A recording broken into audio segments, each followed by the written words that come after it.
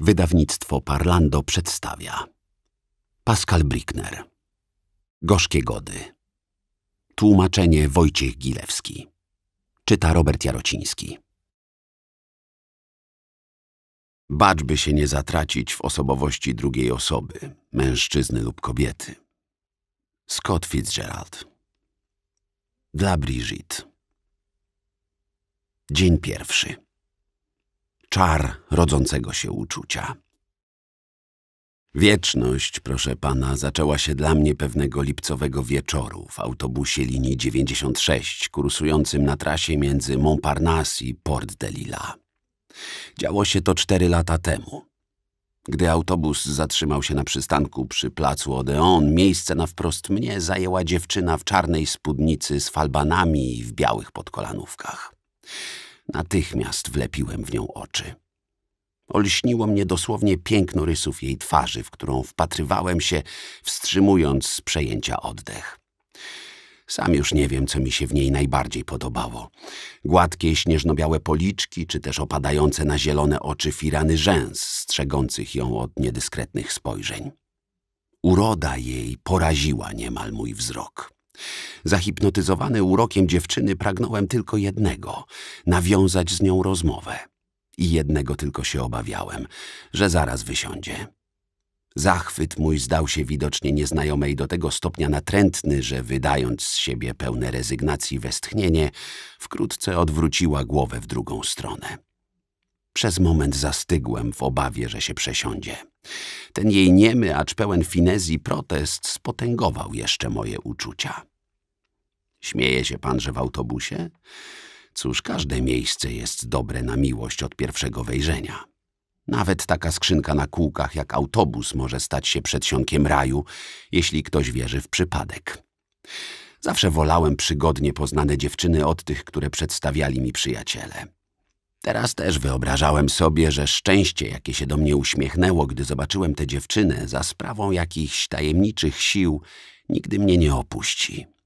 A tylko niespodzianka władna jest tchnąć w nasze życie trochę ciepła. Przerażeniem napawała mnie myśl, że nie potrafię wydusić z siebie ani jednego słowa, by przerwać krępujące milczenie, że oto marnuję okazję, jaką daje mi to przelotne spotkanie. Jak tu zdobyć się na oryginalność i uciec od banału wiecznie tych samych pierwszych słów, być delikatnym i uwodzicielskim zarazem? Czym ją uwieść? Poważne pytanie. Diabeł też pewnie je sobie zadał ostatniego wieczoru stworzenia. Z opresji wybawił mnie kontroler. Nigdy się nie zdołam odwdzięczyć zakładom komunikacyjnym za tę pomoc.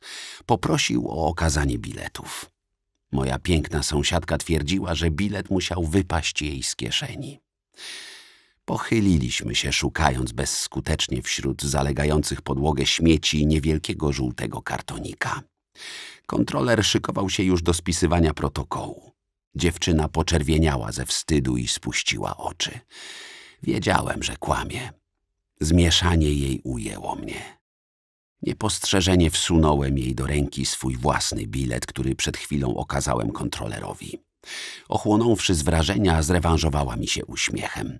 Kontroler ruszył dalej. Byłem uratowany. Przeżyliśmy coś razem. Sam pan rozumie, że po czymś takim nigdy się nie będę domagał zniesienia opłat za bilety. Uściskiem dłoni Gapowiczka wyraziła mi wdzięczność. Popełniła jednak wielki błąd, oddając mi bilet. Jedna z pasażerek, gruba kwoka z trwałą na głowie, przejrzała nasz fortel i zawołała kontrolera. Autobus zatrzymał się na przystanku przy placu St. Paul. Zanim wysiadłem, zdążyłem jeszcze zagrać palcami na nosie pod adresem skarżypyty. Czułem się przegrany. Płakać mi się chciało z wściekłości. Zacząłem machać ślicznej gapowiczce ręką, ale autobus wnet ruszył i straciłem ją z oczu. Snułem się jak potępieniec po ulicach. Paryż nie jest aż tak wielki, ale człowiek może w nim przepaść jak kamień w wodę.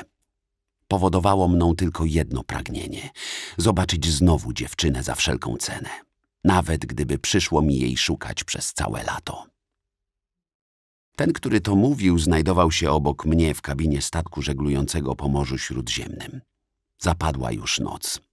Siedział w fotelu z pledem na kolanach, wodząc dookoła niespokojnym wzrokiem. Kiedy natrafiał na moje spojrzenie, uciekał z oczyma. Zmęczona twarz nosiła ślady ciężkich przejść, co utrudniało określenie jego wieku. Widać w niej jednak było resztki młodości. Od całej postaci tego człowieka bił jakiś dziwny niepokój, z trudem tłumiona nerwowość. Tego wieczoru, może dlatego, że wciąż starałem się zachować pewien dystans, od pierwszej naszej rozmowy darzyłem Franca nienawiścią proporcjonalną do wpływu, jaki na mnie wywierał. Wiele mi jeszcze brakowało, by przejrzeć psychikę tego obłudnika. Słuchałem tylko regularnego rytmu snutej przezeń opowieści, skrzypiącego niczym zardzewiały zamek głosu, któremu towarzyszyło bulgotanie gotującej się w czajniku wody. Niechaj mi wolno będzie uściślić okoliczności naszego spotkania. Skończywszy niedawno trzydziestkę, wybrałem się z Beatrice, moją towarzyszką życia, w podróż do Indii. Pożycie nasze układało się szczęśliwie. Trwaliśmy w przekonaniu, że u kresu podróży uda nam się nareszcie odkryć prawdę. Był 28 grudnia 1979 roku. Rankiem wypłynęliśmy z Marsylii na pokładzie tureckiego promu o nazwie Truwa, który obsługiwał, zawijając po drodze do Neapolu, Wenecji i Pireusu, ostatnią linię morską łączącą Francję ze Stambułem. O ile wszak ze względów oczywistych zdecydowaliśmy się wyrwać na kilka miesięcy ze szponów zdeprecjonowanego do cna zawodu, ja pracowałem jako nauczyciel literatury w jednym z paryskich liceów, Beatrice wykładała włoski.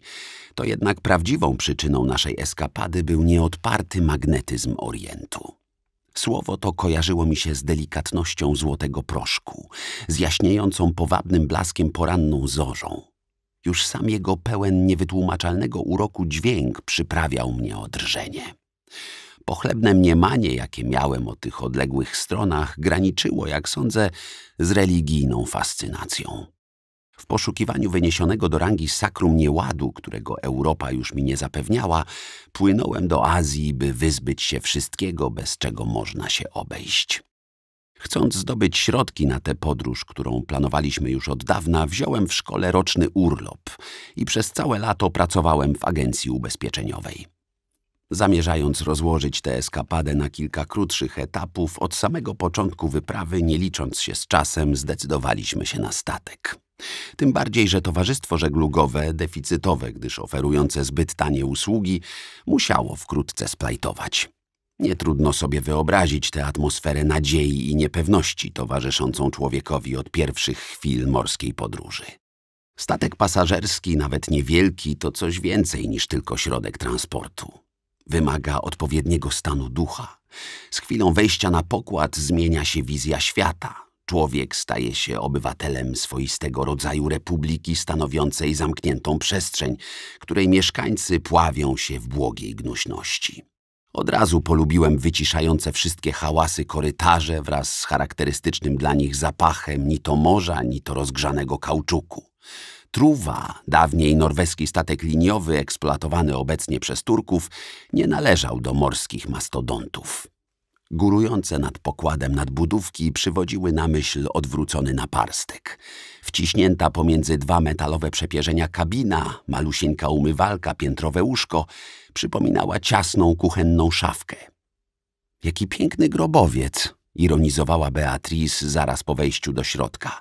Górny sarkofag jest twój, dolny mój. Szklaneczka do mycia zębów podzwaniała na metalowej umywalce.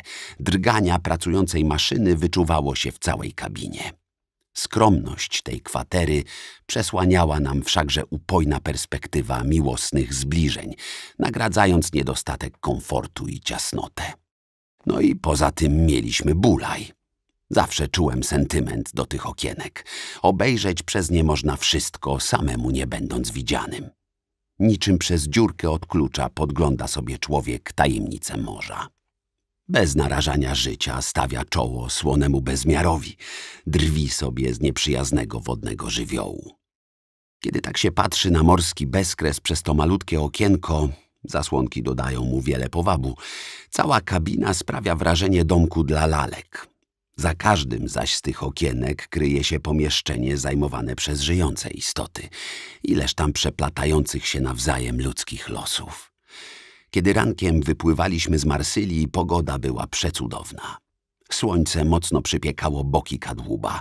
W świetlistych promieniach obdrapane burty lśniły jak lukrowane. Rozpierała mnie radość. Światło, a więc bogowie nam sprzyjało, co dobrze rokowało dalszej podróży. Napawaliśmy się rzeźwiącym niczym sorbet powietrzem, które wiatr od lądu przesycał całą gamą woni, aromatów, zapachem sosen. Widoczne w oddali liniowce, białe zabawki przecinały jedwab horyzontu. Nigdy jeszcze dotąd nie czułem się tak błogo, wzruszony czystością swych odczuć, patrząc na ginące w świetlistej poświacie brzegi Francji, z trudem tłumiłem w sobie nagły przypływ egzaltacji, z obawy, czy to aby nie mamiące oczy złudzenie. Ten pierwszy dzień rejsu, który miał trwać dni pięć, był nadzwyczajny. Pozostawił we mnie uczucie błogiej pustki. Powszechnie wiadomo, że na pokładzie statku nic się nigdy nie dzieje. Nuda tam ogarnia człowieka tak wielka, że graniczy nieomal z euforią. W moich stosunkach z Beatrice najzwyklejszy banał urastał w kontekście tej podróży do rangi talizmanu. Odyseja ta miała nam dać upragnioną chwilę wytchnienia. Wpatrzeni tylko w siebie, zaabsorbowani jedno drugim, godziny całe spędzaliśmy gawędząc na rozległej równinie pokładu. Żyliśmy już co prawda ze sobą od pięciu lat, ale był to nasz pierwszy wspólny wyjazd. Niewiele razem przeżyliśmy, nie licząc owych doznań per procura, jakich nam dostarczała lektura setek przeczytanych książek. U podstaw naszej znajomości legła biblioteka. Woluminy in folio zastępowały nam dzieci i podróże. To też długo się wahaliśmy przed podjęciem tej wyprawy, która burzyła nasze najskrytsze przyzwyczajenia. Beatrice mogłaby z powodzeniem uchodzić za anglosaski wzór kobiecej piękności. Jakkolwiek byliśmy rówieśnikami, ona zachowała dziewczęcy wprost urok. Nawet z sylwetki przypominała bardziej nastolatkę niż dojrzałą kobietę. Gdyby nie spływające falami wokół ślicznej, czasami nazbyt poważnej twarzy długie płowe włosy, śmiało można by jej dać nie więcej niż dwadzieścia lat. Nazywałem ją moje kochanie i szeptaliśmy sobie na ucho znane wszystkim sekrety, których wszakże nie chcieliśmy rozgłaszać. Na śniadanie przychodziło niewiele, trzydzieści niespełna osób. Ciągnąca się przez całą szerokość statku jadalnia oferowała panoramiczny widok i pomieścić by mogła co najmniej dwustu pasażerów. Nasza grupka zajmowała raptem cztery stoliki, co sprzyjało szybkiemu nawiązywaniu bliższych kontaktów. Posiłki to przecież jedyna rozrywka w czasie morskiej podróży. Ludzie mierzą się podczas nich nawzajem wzrokiem, usiłując odgadnąć, kto kim jest, czym się zajmuje, co można by razem z nim zrobić. W sytuacji całkowitego odcięcia od świata zewnętrznego po raz pierwszy widziane twarze nabierają przesadnego znaczenia. Każdy z pasażerów chętnie snuje przyjemne wizje nowo zawieranych znajomości. Oprócz obowiązkowego kontyngentu Niemców i Holendrów, których silna waluta zachęca do włóczenia się po świecie, w naszej grupie była jeszcze para Anglików, dwie pary Francuzów, kilku Włochów oraz garstka greckich i tureckich studentów. Czułem się tak, jakbym wylądował na pokładzie Arki Noego, gdzie znaleźli się przedstawiciele krajów basenu Morza Śródziemnego. Po kilku nieudanych próbach prowadzenia konwersacji w jakimś języku pochodzenia łacińskiego zgodnie postanowiliśmy rozmawiać po angielsku. Jako, że niewiele osób władało poprawnie angielszczyzną, słowo od słowa dzieliły często dłuższe chwile milczenia. Wynikały stąd również zabawne nieporozumienia. Apetyty dopisywały wszystkim nad wyraz. Każdy jadł i pił dużo, jakby do końca rejsu miało już nie być żadnego posiłku. Ja sam też oddawałem się bez reszty przyjemności poznawania innych, chociażby wzrokowo, przekonany, że jutro może będę już z nimi na ty. Wracaliśmy właśnie po posiłku do kajuty. Znikając za drzwiami damskiej toalety, Beatrice poprosiła, żebym na chwilę na nią zaczekał. Ponieważ nieobecność jej zbytnio się przeciągała, ja też, aczkolwiek niechętnie wszedłem do środka. Znalazłem ją pochyloną nad jakąś tonącą we łzach dziewczyną z rozmazanym na twarzy makijażem. Co się stało? Wypaliła za dużo marihuany, powiedziała Beatrice. Wzruszyłem ramionami. Nieznajoma rozpłakała się na dobre. Miała na sobie dżinsowe spodnie i pikowany skafander. Nie widzieliśmy jej na śniadaniu. Denerwował mnie ten jej szloch. Zadawane pytania zbywała monosylabami, jakby nasza ciekawość ją krępowała. Z niewyraźnie artykułowanych słów przebijała wściekłość, że wciąż jeszcze przebywa na pokładzie tego statku, który jak najprędzej chciała opuścić. Dowiedzieliśmy się, że ma na imię Rebeka. Znajdowała się w stanie tak skrajnego otępienia, że nawet nie usiłowała zachować żadnych pozorów. Do, dokąd płyniecie? Zdołała w końcu z siebie wykrztusić bełkotliwym głosem. Najpierw do Stambułu, potem do Indii i może do Tajlandii. Indie już dawno wyszły z mody. Nie odpowiedziałem nic, składając tę uwagę na karp narkotycznego upojenia. Odprowadzę cię do kabiny, zaproponowała Beatrice. To... to bardzo miło z twojej strony. Masz takie włosy jak plaster miodu. Wyjdźmy na pokład, świeże powietrze dobrze ci zrobi. Gdy szliśmy korytarzem, przez cały czas musiałem wspierać ją ramieniem. W słońcu zajarzył się łańcuszek i wisiorek na szyi.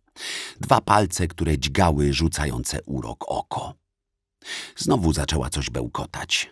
Płacząc i śmiejąc się na przemian, plotła trzy po trzy, co przyprawiało ją o nowy atak wesołości. Wstyd mi było za nią.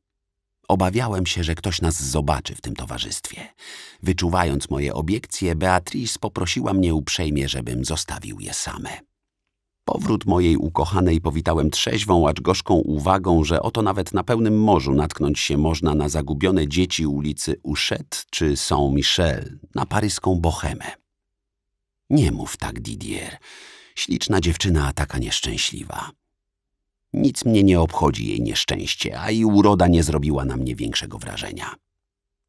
Incydentowi temu położyło kres parę pocałunków. Popołudnie spędziliśmy równie spokojnie i uroczo, jak rozpoczęliśmy poranek.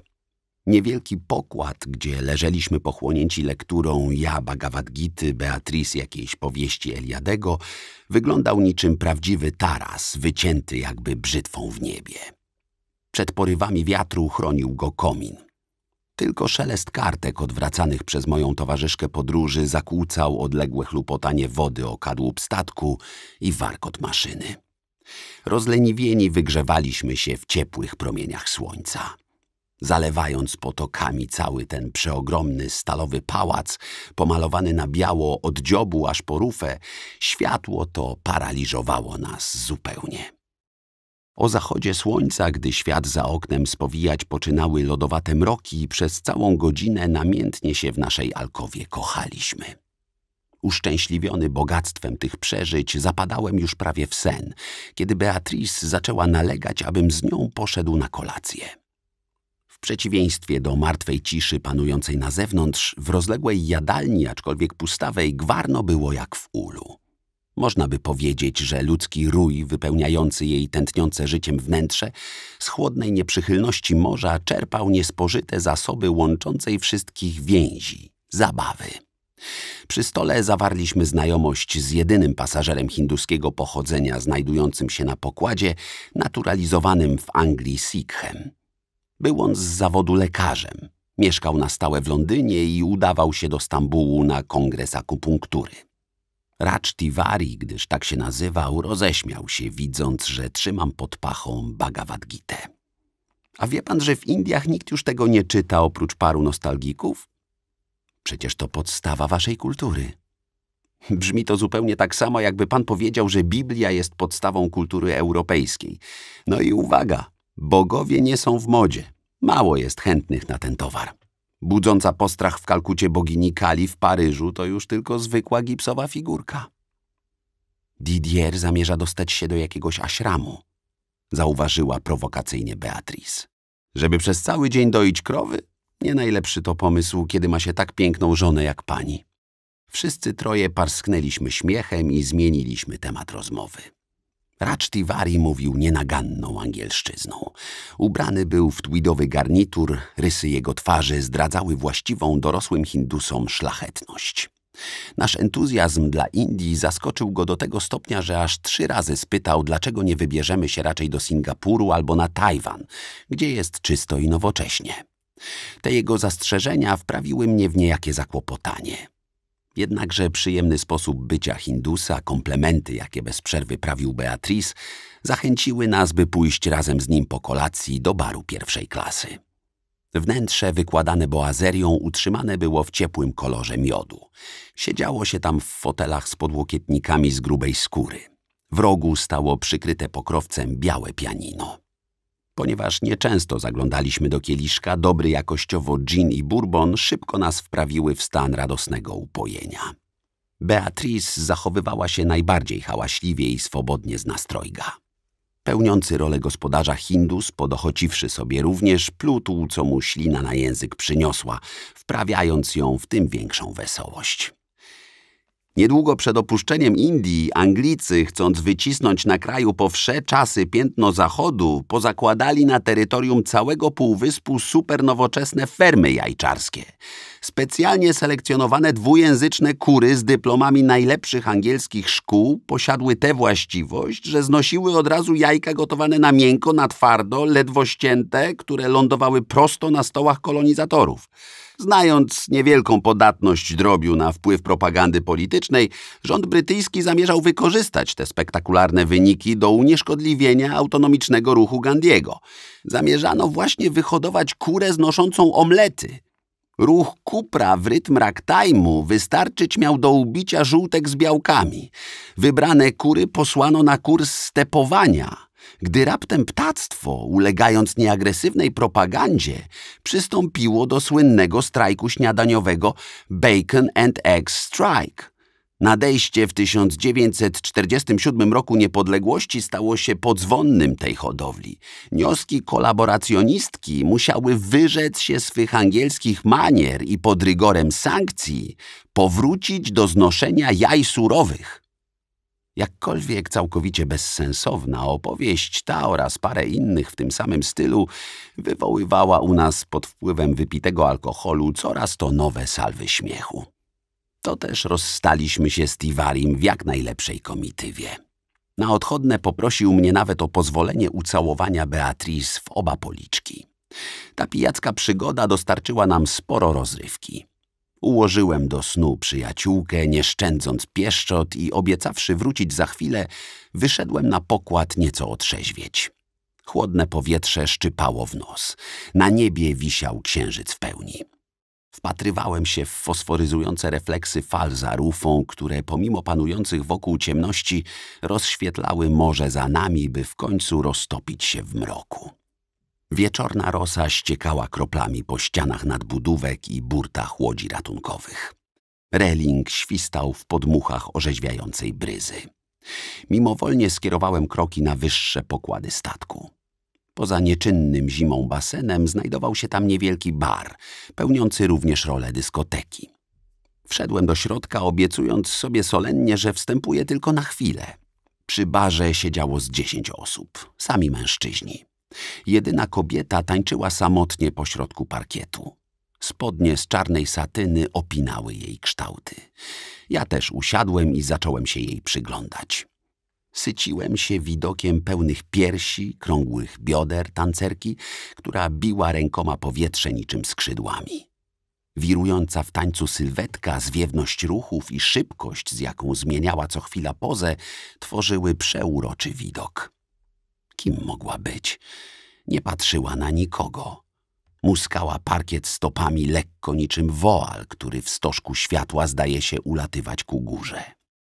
Nagle przestała tańczyć. Zeszła z parkietu i usiadła przy barze. Ku memu najwyższemu zdumieniu odniosłem wrażenie, że rozpoznaję w niej zapłakaną dziewczynę, na którą natknąłem się po południu w toalecie. Podszedłem do niej. O ile wtedy wydawała mi się śmieszna i bez wyrazu, o tyle teraz wyglądała nadzwyczaj pociągająco. Przedłużone cieniem powieki, z lekka podkreślone karminem policzki, niezwykle prosty nos oraz ciemne, zaczesane do tyłu włosy przydawały jej jakby orientalnego wyglądu. Lepiej się pani już czuje? A co panu do tego? No bo przecież to pani płakała w toalecie, prawda? Nie pamięta pani? Powinien pan sobie wymyślić jakąś lepszą gadkę, kiedy się pan zabiera do dziewczyny. Obcesowość jej tonu zaskoczyła mnie.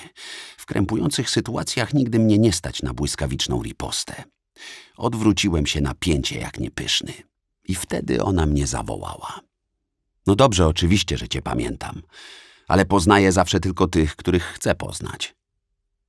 Uderzyło mnie, że zwróciła się do mnie per ty. Jednakże pomimo swobodnego tonu wyczuwałem u niej jakąś smutną desperację. Wyzierające spod umalowanych powiek wielkie migdałowe oczy spoglądały na mnie nie widząc, jakby dziewczyna nie zdawała sobie nawet sprawy z mojego istnienia. W co się pani bawi? W wodzireja. Parsknęła śmiechem. Sytuacja ta wydawała mi się komiczna i krępująca zarazem. Chodź, zatańczymy. O nie, nie, prawie nie tańczę. Czułem się już tak nieswojo, że na samą myśl o tym, iż mógłbym stanąć pośrodku parkietu obok niej, ogarnęło mnie przerażenie. Czasami udaje mi się zabłysnąć tam, gdzie wystarczałoby być zwykłą miernotą. Zawsze jednak odczuwam pewne skrępowanie w miejscach, gdzie obowiązkowo należy się bawić. Nic dziwnego, stoisz jakbyś kij połknął. Znów zaśmiała się krótko. Przedłużony rysunek oczu złagodził na chwilę surowość jej twarzy. Przez głowę przewijało mi się tysiące najprzeróżniejszych banałów, konwencjonalnych pytań.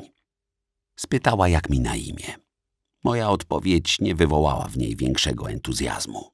Zacząłem się zastanawiać, czego ona ode mnie może chcieć i co by tu jeszcze powiedzieć. Musiało to wyglądać smętnie i komicznie zarazem. Powiedz, że coś zabawnego, Didier, bo tu się zanudzę na śmierć. Upomnienie to zdeprymowało mnie do reszty. Miałem sobie za złe, że nie umiem poprowadzić rozmowy. Czułem się coraz bardziej zdenerwowany. Właściwy mi brak odwagi potęgowała jeszcze irytująca świadomość, że nie wiem, jak się zachować wobec tego rodzaju kobiet.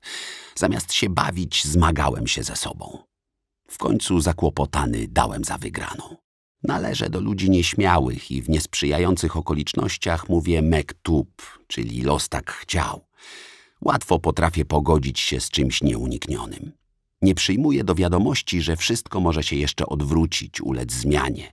Bezczelność tej dziewczyny, huśtawka jej nastrojów doprowadzały mnie do szału. Teraz patrzyła przed siebie, nie troszcząc się o moją osobę. Pogniewałaś się na mnie? Wyjąkałem, zdobywszy się w końcu na odwagę, by zacząć również ją tykać, być może w złudnej nadziei, że uda mi się jeszcze wszystko nadrobić. Wzruszyła ramionami. Za wszelką cenę usiłowałem powiedzieć coś zabawnego, przynajmniej raz. To też zapytałem jeszcze przeciągając sylaby Jesteś rozsierdzona? Co takiego? Rozsierdzona, to znaczy zdenerwowana. Wstała. Zbyt wielkie masz jak dla mnie poczucie humoru, mój kochany. Aż mnie brzuch rozbolał od śmiechu. Idziesz już?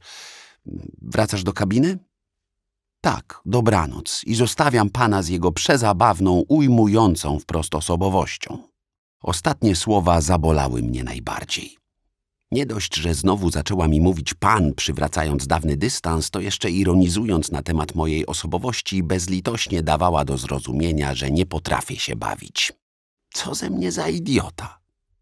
A przecież rozsierdzony to słowo wchodzące w skład zasobów języka i nie moja wina, że młodsze pokolenia mają ograniczone słownictwo. Ja, trzydziestolatek, dałem się nabrać na prowokacyjne zachowanie tej smarkuli, która mogłaby być moją uczennicą, podczas gdy pierwszy lepszy z jej kostropatych rówieśników paroma słowami utarłby jej nosa. Wtem uzmysłowiłem sobie, że nawet jej nie zapytałem, dokąd idzie, czy podróżuje sama. Nie chciało mi się iść spać. Zamówiłem drinka i następną godzinę strawiłem rozmyślając o tym zdarzeniu. Wracając do kabiny, tak byłem pogrążony w myślach, że pomyliłem drogę, gdyż w pewnej chwili znalazłem się w korytarzu prowadzącym do kabin pierwszej klasy. Długi, pusty korytarz skąpany w chybotliwym świetle lamp, zalegająca wszędzie cisza, przerywana od czasu do czasu dobiegającymi z oddali odgłosami uderzeń młotka, tańczące po ścianach cienie, mroki spowijające wyczuwalne wokół życie, zrobiły na mnie dziwne wrażenie. Otworzywszy pierwsze napotkane po drodze drzwi, wyszedłem na zewnątrz. Poczułem przenikliwy chłód. Wszystko tonęło w ciemnościach. Raptem usłyszałem za sobą ni to skargę, ni to jęk. Odwróciłem się, nic jednak nie było widać. Tajemniczy dźwięk dobiegł mych uszu ponownie. Wytrzeszczając oczy, dostrzegłem wreszcie zarys jakiejś postaci. Ktoś tu się przyczaił. Wzdrygnąwszy się, zamierzałem właśnie wracać do środka, gdy poczułem, że ktoś chwyta mnie silnie za rękę. to pan. Didier? Uroczysty ton pytania, niski, przydechowy głos poruszyły mnie do głębi. Lecz przede wszystkim siła tego uścisku. Spodziewałem się ujrzeć nagle wyrastającego przede mną napastnika, gdy tymczasem moim oczom ukazał się obraz siedzącego na inwalidzkim fotelu kaleki. Widziałem go po raz pierwszy, nosząca widome znamiona ciężkich przeżyć twarz, przerzedzone włosy. Nieobecne spojrzenie, jakim mnie uraczył, w ciemnościach czyniło jego wzrok niemal przerażającym. To pan jest Didier, prawda? Proszę uważać. Proszę na nią uważać. O czym, o, o kim pan mówi? Z trudem poskramiałem burzę kłębiących się we mnie uczuć. Miałem chęć stamtąd uciec, ale żelazny uścisk jego dłoni trzymał mi rękę jak w imadle. Można by powiedzieć, że kalekie ciało w odruchu zemsty wykształciło bezmiernie silne członki. W pokrytych gruzłowatymi żyłami nadgarstkach drzemała utajona siła, zdolna zmiażdżyć wszystko, co stawiłoby jej opór. Kaleka przysunął ku mnie swoją smętną, trupiobladą twarz. O niej. Mówię o Rebece oczywiście. Zaskrzeczał. O tej dziewczynie, z którą pan niedawno rozmawiał. Niech pan uważa. Kontakt z nią jest niebezpieczny. Gdziekolwiek stąpnie, zastawia pułapki. Proszę spojrzeć, co zrobiła ze mnie w ciągu niespełna paru lat. Uniósł do góry wełniany plet leżący na kolanach i pokazał mi zwisające bezwładnie sparaliżowane nogi. Ale skąd pan wie, że się z nią widziałem? Skąd pan zna moje imię? Przed chwilą, opowiadając o waszym spotkaniu, opisała mi pana dokładnie. Od razu pana poznałem. Więc czego pan w końcu ode mnie chce? Proszę mnie puścić, przecież to wszystko jest śmieszne. Nie tak śmieszne, jak się panu wydaje. Nigdy pan nie zauważył, że kobiety bardzo pożądają mężczyzn będących w towarzystwie przystojnej przyjaciółki? Nawet największemu brzydalowi i pokrace obecność pięknej damy u boku od razu przydaje nieporównanej wartości w ich oczach. I to właśnie poczuła Rebeka, widząc pana w towarzystwie przyjaciółki. A może mi pan powie, kim pan dla niej jest? Przepraszam za ten nietakt. Pan pozwoli, że się przedstawię. Mam na imię Franz, jestem jej mężem. Puścił moją rękę, by uścisnąć mi dłoń z wylewnością, która wydała mi się całkiem nie na miejscu. Wzdrygnąłem się. Zimna, nocna mgła przenikała do szpiku kości. Ten dialog w ciemnościach zakrawał na szczyt absurdu. Zimno panu, prawda? Wracajmy. Zakręcił w miejscu fotelem na kółkach, pomagając sobie rękami i popchnął drzwi prowadzące do wewnątrz. Podążyłem za nim machinalnie. Didier ciągnął, gdy tylko znaleźliśmy się na korytarzu. Pozwoli pan, żebym tak właśnie go nazywał. Cóż więc pan sądzi, Didier, o mojej żonie? Dodał po chwili wahania. Aż podskoczyłem z wrażenia. No więc... No więc moim zdaniem jest bardzo przystojna. Prawda? A jaka zgrabna. Bez wątpienia. A więc to tak, zbereźniku, podoba się panu. Patrzył pan na nią łakomym wzrokiem. Ależ skąd? No nie ma się przecież czego wstydzić, bo się pogniewam. Jestem zresztą przekonany, że musieliśmy pana zaintrygować. Tak, tak, już ja to czuję. Wie pan, kim jest Rebeka, nie wie pan jednak, na co ją stać. Chciałby pan się o niej czegoś więcej dowiedzieć? Sam nie wiem, dlaczego śmieszność tej propozycji od razu nie rzuciła mi się w oczy. Chyba z powodu zmęczenia, bo pora była już późna. Odruchowo zaprzeczyłem. Zawsze najpierw mówię nie, twierdząc, że nie interesują mnie ich prywatne sprawy. Nie wydało mu się to jednak zbyt przekonujące. Jak uroczo pan zaprzecza, podczas gdy oczy mówią tak. Widzi pan, ledwo co się znamy, a już drobne osobliwości pańskiego charakteru utwierdzają mnie w przekonaniu, że jest pan załóżnikiem, na którego od dawna już czekam. Oprócz tego mam w życiu taką zasadę. Nie należy ufać tym, którzy człowieka kochają, bo to jednocześnie najwięksi jego wrogowie. To też zwierzam się ze wszystkiego wyłącznie nieznajomym. Zainteresowanie, jakie mi pan okazał, może być dla pana powodem do dumy, gdyż świadom jestem, jak niewielkie mam szanse na to, by pana wzruszyć mogła moja historia, skoro nie ma pan z nią nic wspólnego. Chyba, że teraz już tak. Nie bardzo widzę co. Sam nie wiem, chociaż podszeptuje mi to moja intuicja. No więc jak? Chce pan? Zgłosiłem kilka obiekcji, po czym nie przedstawiając właściwie własnej opinii, bezwolnie się zgodziłem. Czemuż miałbym to ukrywać? Romantyczny charakter tej sytuacji zanadto ekscytował Belfra z głową zaśmieconą literackimi wątkami, jakim byłem. Podążyłem więc za Francem do kabiny średnich rozmiarów pomieszczenia o ścianach wykładanych boazerią. W jednej z nich zauważyłem dwa bulaje – jak na kabinę pierwszej klasy nie znalazłem tu nic nadzwyczajnego. W świetle żarówki twarz kaleki przypominała ołowiano-szare lustro, dawniej odzwierciedlające być może jakąś radość życia, które jednak teraz nieodwracalnie pociemniało. Jasno-niebieskie oczy przywodziły na myśl dwie tafle zimnej, zgorzkniałej wody. Widzę, że pan rozczarowany, nawet w pierwszej klasie kabiny przypominają wnętrze drugstoru. Wystrój jak w galerii Lafayette. Nie uświadczy się tu nikogo z dobrego towarzystwa. Wszędzie tylko opaśli Skandynawowie i emigranci z trzeciego świata. Ale dosyć tych utyskiwań. Napije się pan herbaty? Mam Darjeeling. Darjeeling. Beatrice i ja marzyliśmy o tym, by tam pojechać. Co za interesujący zbieg okoliczności. Kaleka wyjął z walizki elektryczny czajnik, nalał doń wody i podłączył do kontaktu. Przysiadłem na łóżku. Niespokojne, błyszczące oczy gospodarza omiatały wnętrze kabiny. Mężczyzna, którego żona niedawno mnie uwodziła, przeszywał mnie przenikliwym wzrokiem. Poczułem niejakie zakłopotanie. Jakby chcąc rozwiać trapiące mnie wątpliwości, powiedział, zajmuje to pomieszczenie sam. Rebeka mieszka trzy kabiny dalej. Mamy taką umowę.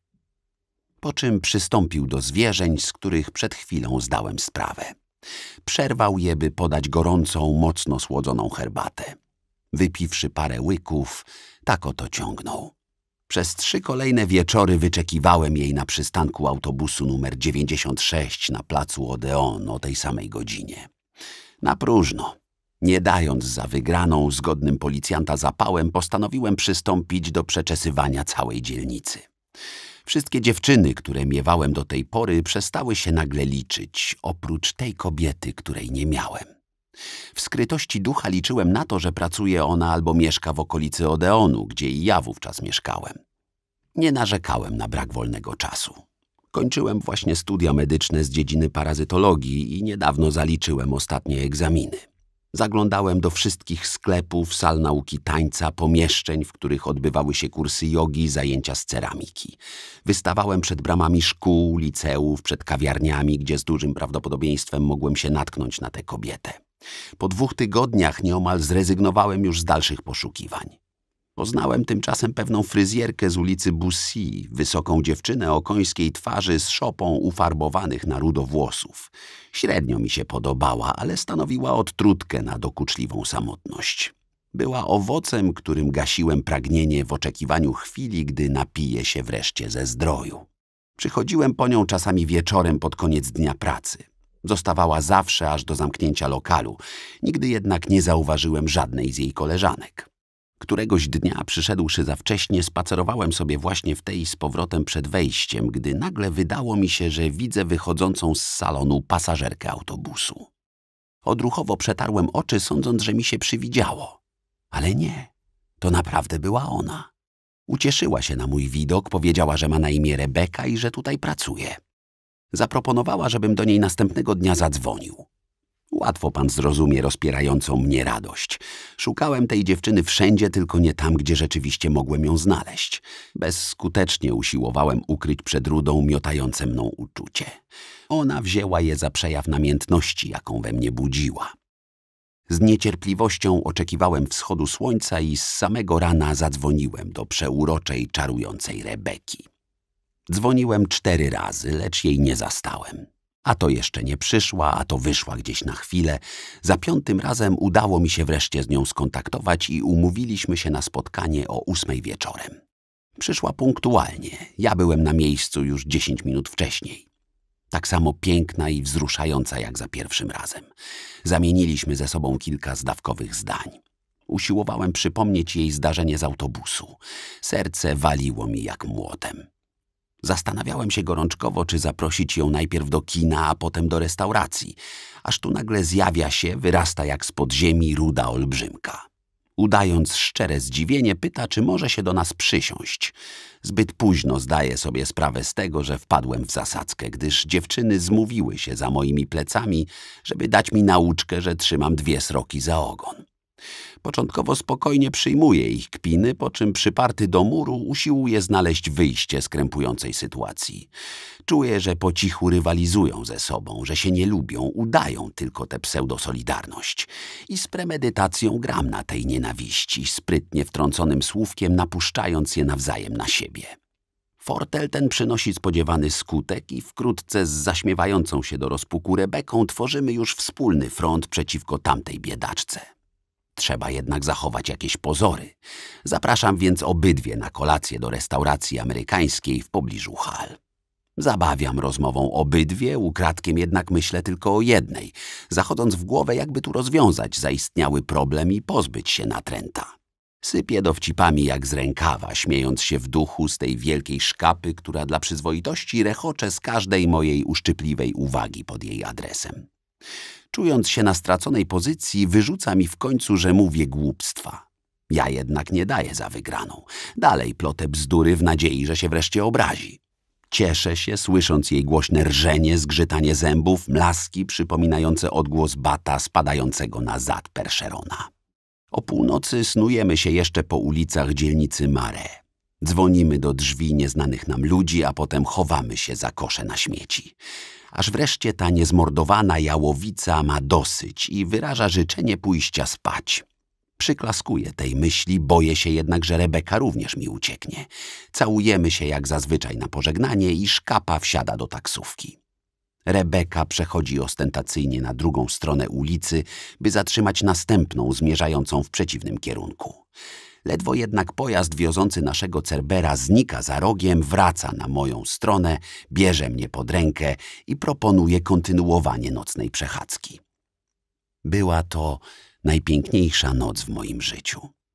Od razu zdałem sobie sprawę, że ta dziewczyna to dla mnie coś więcej niż tylko zwykła przygoda. Wyglądała tak uroczo, tak dziecięco, tak sympatycznie, że zgodnie z utartym powiedzeniem dopiero teraz dowiedziałem się, co to miłość. Wszystkie poprzednie zdawały się jedynie zwykłą namiastką tej, która stanowiła ich apoteozę. Nie tak dawno zerwałem trwający od dwóch lat związek. Zżarły go nuda i rutyna. Teraz odnajdowałem utraconą młodość początków. Nie posiadłszy jej jeszcze, już teraz kochałem wszak w Rebece miłość, jaką we mnie tchnęła.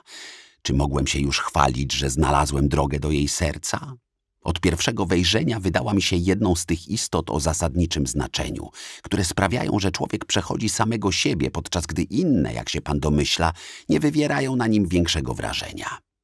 Ujmował mnie szczególnie jej wesoły i czuły zarazem wyraz twarzy. Z upodobaniem fingując uległość w chwili, gdy znajdowała się poza moim zasięgiem, doprowadzała mnie do rozpaczy – ten dyskretny dystans, w którym dopatrywałem się z jej strony niepospolitych zamysłów, niepokoił mnie i urzekał jednocześnie. Nieważne. Rozśmieszałem ją, siląc się na dowcip, najzwyklejsze wydarzenie obracając w żart, z każdego banału czyniąc niespożyte źródło wesołości. Takie prawdziwe spotkania sprawiają, że człowiek dwoi się i troi, zaczyna żyć jak w transie, dostępuje stanu ciągłego tworzenia. Bawiłem i zadziwiałem zarówno ją, jak i samego siebie. Przez cały wieczór czuliliśmy się do siebie, prześcigali w galanterii, obejmowali. Padałem przed nią na kolana, zasypywałem słodkimi słówkami, nie szczędziłem tanich komplementów. Dowiedziałem się, że ma osiemnaście lat, o dziesięć mniej niż ja, że jest Żydówką z domieszką krwi arabskiej, pochodzi z niezamożnej rodziny wywodzącej się z Afryki Północnej. Ojciec jej ma sklepik korzenny w dzielnicy Belleville. Ja natomiast pochodzę ze średnio zamożnego mieszczaństwa o odległych korzeniach germańskich. W odpowiednim czasie przekona się pan, jeżeli dostąpię tego zaszczytu, że zechce mnie pan wysłuchać do końca, iż szczegóły te są nie bez znaczenia. Doświadczenie Rebeki sprowadzało się do bliższej znajomości z paroma dziesiątkami mężczyzn, których brała sobie po kolei za kochanków. Zaczęła miewać przygody miłosne w wieku, kiedy ja wyrastałem właśnie z ostatnich pluszowych zabawek oraz do paru podróży na Bliski Wschód, w tym do Izraela. Mimo to dostrzegałem w niej ów zaskakujący amalgamat dojrzałości seksualnej połączonej z dziecinnym wprost idealizmem, który w dobie dzisiejszej stanowi metafizyczny bagaż nastolatek. Przechwalała się swoimi podbojami tonem naiwnej prowokacji. W głosie jej wyczuwałem jednak wówczas zarówno swego rodzaju wyzwanie, jak i próbę usprawiedliwienia. Jakby chciała mi powiedzieć wybacz, ale wtedy jeszcze cię nie znałam. Od samego początku znajomość nasza miała wszelkie pozory bufonady. Humor to rozkosz, jakiej dostarczają sobie nawzajem partnerzy, zgodnie zapominając na chwilę o różnicy płci. Podobnie jak i mnie bawiły ją dziecinne lapsusy, tasiemcowe zdania, anagramy, kalambury, sprośne gry słówek. Znała na pamięć wszystkie wyliczanki, dziecinne piosenki. Doskonale potrafiła naśladować większość postaci z filmów rysunkowych dla dzieci, zwłaszcza Gargamela i Klakiera. Zachwycałem się dziewczęcą świeżością jej słów, zadziwiającą łatwością, z jaką przeistaczała się w przeróżne postacie. Dostrzegałem w niej wzruszające do głębi gorące pragnienie życia. Dla mnie nie zostawało już nic, nawet doświadczenie, którego z racji wieku zdołałem nabyć. I chociaż dwa miesiące wcześniej mówiłem jeszcze kocham cię innej kobiecie, która rozbudziła we mnie podobne emocje, czułem się tak, jakbym od wielu lat nie zaznał miłości. Znalazłem wreszcie kogoś, kto pod każdym względem odpowiadał mojemu ideałowi, a nawet go przerastał. Podobieństwo cech, lecz także występujące między nami różnice sprawiały, że Rebeka była jakby częścią mnie samego, a jednocześnie kimś z zewnątrz. Mówiłem już panu, że mi się podobała. Uroda tej dziewczyny polegała nie tyle na harmonii, ile na czystości rysów, a przez to twarz jej wyglądała jakby spowita blaskiem aureoli. Świt, który nastąpił po tej naszej pierwszej wspólnie spędzonej nocy, zastał nas siedzących na ławce na skwerze Arszewsz, na tyłach katedry Notre Dame, w towarzystwie licznych tu homoseksualistów, którzy już od lat zwykli w owo miejsce przychodzić, by się oddawać swym sodomistycznym praktykom. Świadomość bliskości ich gibkich ciał tu, na tyłach świątyni wiary, wcale mi nie przeszkadzała. Dodawała ona naszemu uczuciu posmaku tak rzadkiej już dziś tajemniczości. Więzy zadzierzgnięte w bliskim sąsiedztwie tych zepchniętych na margines życia istot w atmosferze dreszczy i spazmów rozkoszy nie mogły nie być romantyczne i marginalne. W tchnących jeszcze ciepłem mrokach zdawałem się słyszeć odgłosy pocałunków. Wszystkie te kopulujące wokół pary oddawały się bez reszty trawiącej je namiętności. Co za uroczy widok przedstawiał sobą Paryż oglądany z tego skweru w pierwszych blaskach wstającego letniego dnia. Za chwilę miało wychynąć z za nieboskłonu słońce. Niezwykle biała poświata uwydatniała wyraźnie zarys brzegów Sekwany, przykrytych w tym miejscu płaszczem dzikiego wina. Miasto budziło się do życia. Rozbrzmiewało już łoskotem wyruszających na trasę pociągów metra. I wtedy właśnie Rebeka poprosiła mnie, pamiętam to dokładnie, żeby rozetrzeć jej stopy. Od nóg doszedłem aż do ust, zadość czyniąc przyzwoitości, która wymaga, by chcąc otrzymać klucz od dołu, najpierw oddać hołd temu, co na górze. Zbytek jednakże rozpierającej nas wesołości sprawił, że najpierw zęby, potem nosy nasze długo ocierały się o siebie, zanim pierwszy pocałunek przybrał wreszcie swą dorosłą i kanoniczną postać. Słuchaj, powiedziałem, kiedy usta nasze oderwały się w końcu od siebie. Muszę iść do lekarza. Dzieje się ze mną coś dziwnego. I ujmując Rebekę za rękę, położyłem jej dłoń na wzwiedzionym członku, który bliski kontakt naszych ciał wprawił w stan erekcji. Pochlebiło to dziewczynie, aczkolwiek nie zdawało się wywierać na niej większego wrażenia. Faktycznie bowiem wcale nam się nie spieszyło, by całą rzecz doprowadzić do końca. Zawierając ze sobą bliższą znajomość, mężczyzna i kobieta płoną zazwyczaj przemożną chęcią, aby dowieść sobie nawzajem miłości. My przeciwnie, wcale nie odczuwaliśmy potrzeby nachalnych dowodów cielesnych. Wobec fajerwerku poprzedzających go uczuć, sam akt miłosny wydawał nam się tej nocy zbyteczny, lub przynajmniej nie musiał nastąpić natychmiast. Szybowaliśmy na takich wyżynach, że upajał sam fakt, iż zdołało się uwieść partnera, że człowieka bez względu na konsekwencje podejmowanych działań zadziwiała własna odwaga. No i wreszcie, czemu nie miałbym tego panu powiedzieć, Rebeka należała do istot tak pięknych, że w przeciwieństwie do innych trudno jej było przypisać określoną płeć. Swoją postacią i rysami twarzy wydawała mi się tak dalece odbiegać od kanonu gatunku ludzkiego, że wyobrażałem sobie, iż zachowuje się również odmiennie w kontaktach intymnych. W rozgorączkowanym umyśle zacząłem już nawet przypisywać jakieś niepospolite, niecodziennie piękne i równie zachwycające jak urodziwa twarz dziewczyny cechy jej poszczególnym organom. A jeśli ona, zastanawiałem się, nie ma niczego na podbrzuszu? Natura mogła przecież wymyślić na jej użytek coś zupełnie nowego. Dopiero rano, około ósmej, po całej nocy spędzonej na zewnątrz, poszliśmy do mnie do domu. Jak sam pan wie, i mężczyzna, i kobieta nago tracą często wdzięk, jaki mieli w ubraniu. Obnażone ciało przywodzi wówczas na myśl źle skrojony, jakby nazbyt obszerny strój krępujący ruchy. Rebeka stanowiła wyjątek od tej reguły. Nawet ubrana wydawała się naga z powodu natrętnej wybujałości kształtów. Rozebraną natomiast przyoblekał niczym doskonale gładki mięsień własny bezwstyd. Zadowalała się tedy zamianą jednej szaty na drugą, traktując własną skórę niczym draperię, zdobną opończę, w którą się zawijała przywracała utracone łaski ostentacji, wielce zabiegając o uwypuklenie wszystkich swych wdzięków, przejaskrawiając kolory każdej ze szmatek, jakie na siebie wkładała. Onieśmielała mnie swą prezencją tak długo, że przez kilka pierwszych dni właściwie ani jej dobrze nie obejrzałem, ani nie poznałem. Minęło więc parę dni, zanim nasze stosunki cielesne uzyskały taką samą jakość, co burzliwy i urozmaicony tryb życia, jaki obydwoje wiedliśmy. Od razu pokochałem to dorodne ciało. Jego wdzięk, którego widomym przejawem była nadobna talia, mamił też oczy cudnym widokiem pozostałych swych bogactw. Wszędzie charakteryzowała je pełność kształtów, będąca wiernym odzwierciedleniem krągłości zwieńczonych sterczącymi sutkami. Idealnie proste, toczone nogi, gibki i smukły tułów, delikatna, mała główka – w szczególny zachwyt wprawiała mnie ta jej uroda w chwilach, gdy była najbardziej kobieca. Na twarzy wykwitał jej wówczas rumieniec. Nabrzmiałe piersi poczynały żyć jakby własnym życiem. Nabierały zwierzęcego wprost wyglądu. Drżące ciało pokrywało się siecią niebieskawych żyłek. Wielkie brązowe otoczki okalające sutki przywodziły na myśl obozowiska nomadów na stepie. Kontrast tego dziewczęcego jeszcze ciała i zawadiackich, obfitych piersi wprawiał mnie w istną ekstazę. Rebekę cechowały